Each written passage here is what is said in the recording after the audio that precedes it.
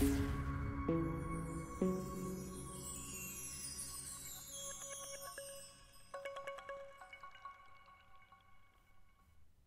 Hello chess friends and welcome to of Chess channel and welcome back to our hyper accelerated dragon Sicilian defense studies.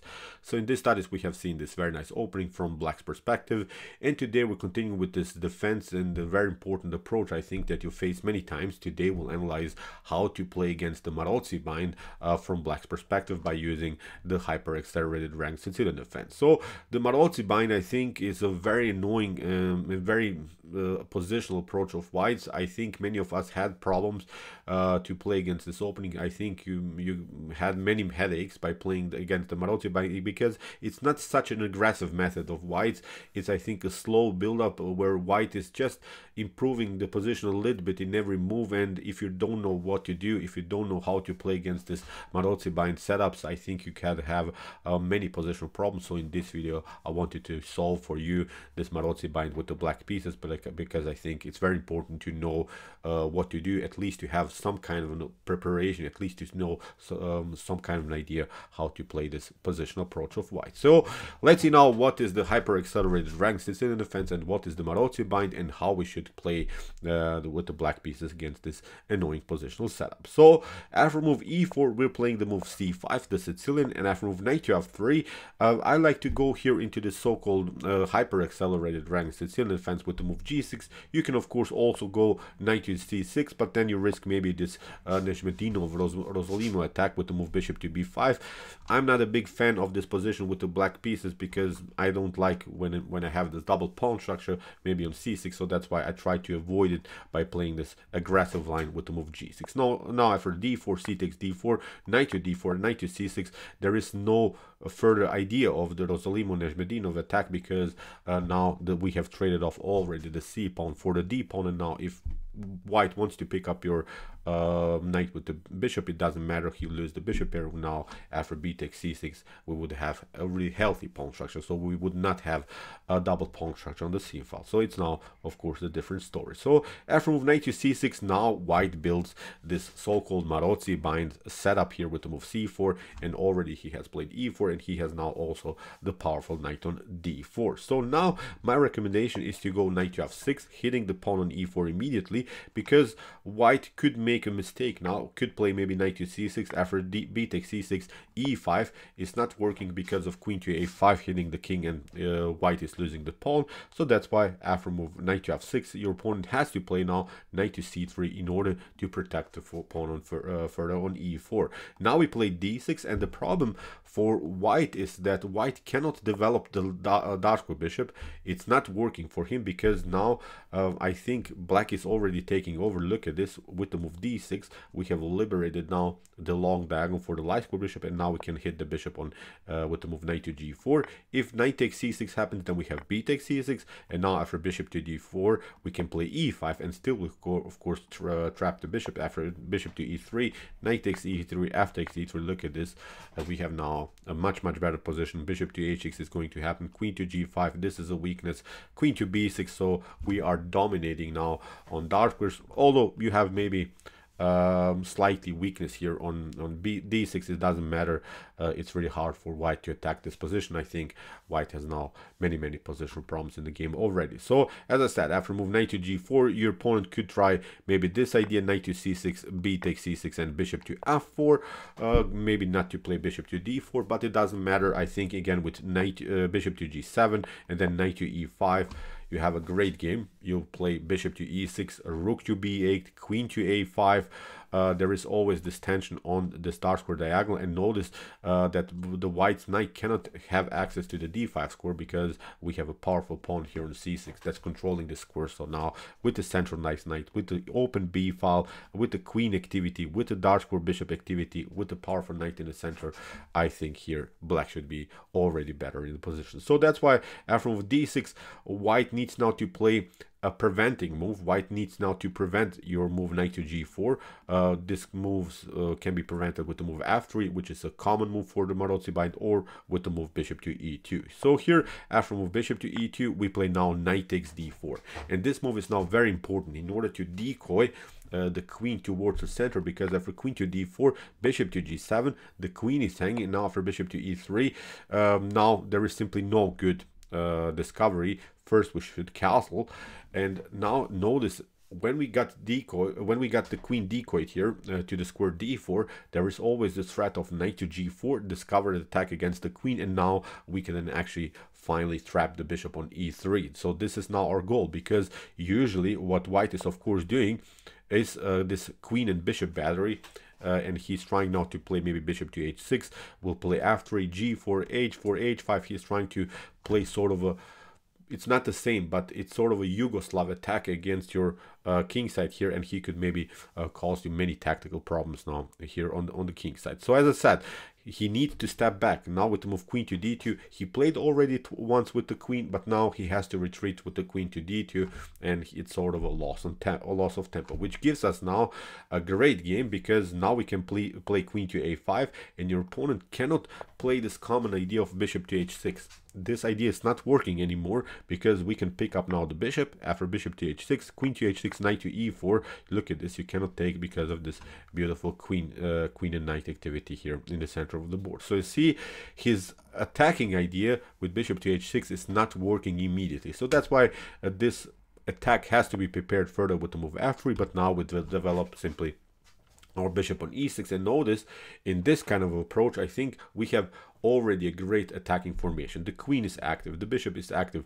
This knight will be improved maybe knight to d7 knight to c5 for liberating the long diagonal for the dark square bishop. And now what we are trying to do is simply continue the pressure around the square c4 we will simply play rook to c8 a6 b5 so we are playing just an attack against this pawn on c4 this is now in my opinion really one of the best methods to uh, beat the Maróczy bind so here in the continuation kingside castling can of course uh, be your opponent's um, continuation if he plays now knight to d2 uh, pardon me, knight to d5, then we play queen to d2. After king to d2, we can pick up the knight in the center of the board.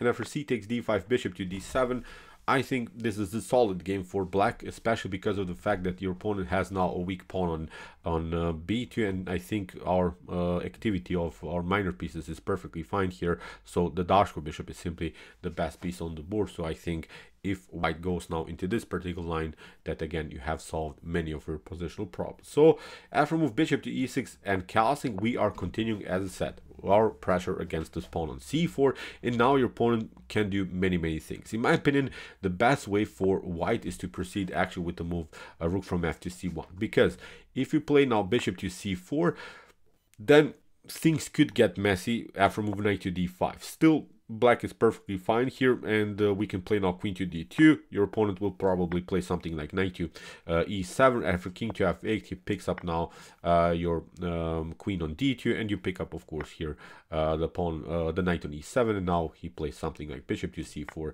and this should be i think a good game. Here you play then the knight to d7 and now after rook from a to b1 uh, black can have, I think, a solid position here, but I think white should be slightly better because of the bishop pair.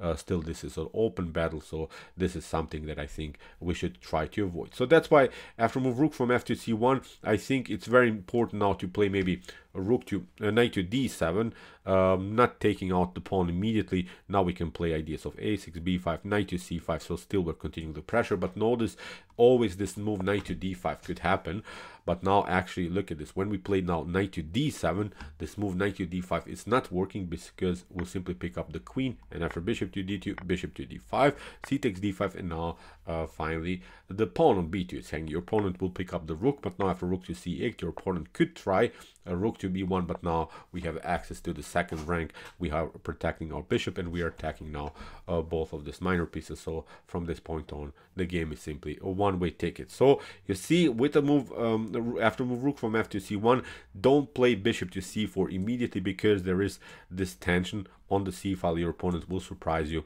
with the move knight to d5 so that's why first knight to d7 and then knight to c5 and similar stuff. So here uh, after rook from f to c8 what your opponent could make as a mistake is the move b3 and now we have to play really really aggressively. Notice with this move b3 your opponent has already opened the dashboard diagonal and it's now time to use our uh, aggressive approach here by playing a simple a6 and now if your opponent plays again rook from f to c1 now hit, we hit the pawn with the move b5 and this is the way to go. B5 seems really like a bad move because you can say now dude what you're talking about the knight is protecting the b5 the pawn is protecting the b5 the bishop is protecting the b5 but actually uh, now the fun actually starts because after your uh, opponent plays maybe the move c takes b5 we have now this one a takes b5 and actually uh, now many many things can go wrong. For instance your opponent could try bishop to b5 but now we play knight takes e4 and after f takes e4 look at this. Bishop takes c3 this position is falling apart. Your bishop is uh, hanging here on b5 so this is not the way to go. So your pawn could try of course knight to b5 but now comes the stunner. Queen takes d2 look at this. After uh, bishop to d2 what we can do of course is now rook takes c1 and look at this what happens after let's see rook takes c1 we have this stunner. Rook takes a2 the rook is now deflected uh, from the, uh, the defense of the pawn on a2 and your opponent cannot deliver a check here on c8 because the bishop is covering the square.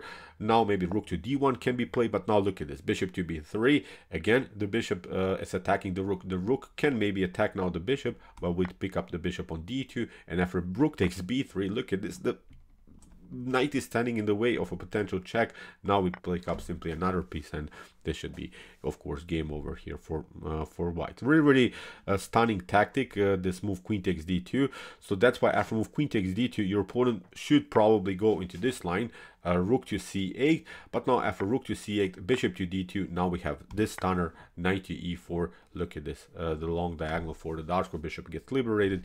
In order to keep uh, somehow some chances in the game, your opponent has to play now something like rook to d1 but now we pick up um, uh, here the bishop on d2 after rook to d2 now bishop to h6 look how um, it's easy now to play the game with this beautiful bishop here. Your opponent can maybe step back here to b2 but now after bishop to e3 look at this. We have even this one. Rook to c1 your opponent has to now give up. Uh, here the bishop loses simply the decisive material so this is not working. If your opponent plays now uh, uh, rook to d3 then we can uh, have access again to the beautiful second rank. Your opponent could try maybe this one knight to d4 but now first we take out the pawn after knight takes e6 we take first off uh, the bishop. The knight has to step back and now after rook to b2 this should be of course a much much better position for black uh, because we can play e6 then maybe d5 of course first maybe protecting the pawn on d6 but now with these two mobile pawns in the center of the board with support of the bishop uh, with the beautiful rook activity here this should be I think completely completely winning endgame uh, here for black. So as I said uh, after the move let's go back. After move b3 we play a6 uh, here rook to c1 b5 hitting now immediately here on the flanks. C takes b5 a takes b5 knight to b5 first we pick up the queen. Your opponent doesn't have time uh, to pick up the queen because we play simply this one. Uh, if he takes with the bishop, then we have this discovered attack. If he plays now uh, here with the rook, then we have access to the second rank and many of these pieces are hanging, so uh, he simply lost. In order to keep some chances in the game, as we said, after move queen to d2, he has to play rook to c8 first. We play rook to c8, bishop to d2, but now again this method, knight to e4, your opponent has to go here, knight takes d2, rook takes d2, and now bishop to h6 is, I think, uh, winning the game here for black for sure. So this is our study. There are of course many sidelines. I wanted to just show you this common mistake that can happen in uh, the hyper accelerated dragon Sicilian defense against the Maróczy bind. Uh, use this method, I think you have really fun. So uh, let's go a little bit fast now through the uh, whole opening. So as we said, d4, knight to c6, Maróczy bind here, knight to f6, hitting the pawn on e4. Your opponent has to protect it, and now with the move d6, as we said, your opponent has to play f3 or bishop to e2. After bishop to e2, we hit the knight, decoying the queen towards the center, bishop to g7. Now we play uh, kingside castling. He has to step back and now queen to a5. Aggressive method, f3, bishop to e6, uh, hitting the pawn on c4. After castling, we continue the pressure now. We have reached the sequence a6, b5, and this should be a good game here for black for sure. So, okay, I hope that you enjoyed the study. Uh, this is very important. Uh, the Maróczy bind you face many, many times. Be careful. There are, of course, other, also some other sidelines for uh, uh, white as are possible, but this is, I think, a decent approach. You can have very an aggressive game. Your opponent cannot build this um, normal setup that he usually wants to do, in my opinion. Really, really a good, good, uh, solid line here for black. So, okay, uh, if you are interested more into this beautiful hyper accelerated ranks in defense, uh, check out my uh, series so far. Here's the link of our whole playlist. And if you like this content, don't forget to subscribe to my channel. See you soon with some more videos and what to say. Chess is the best, of course.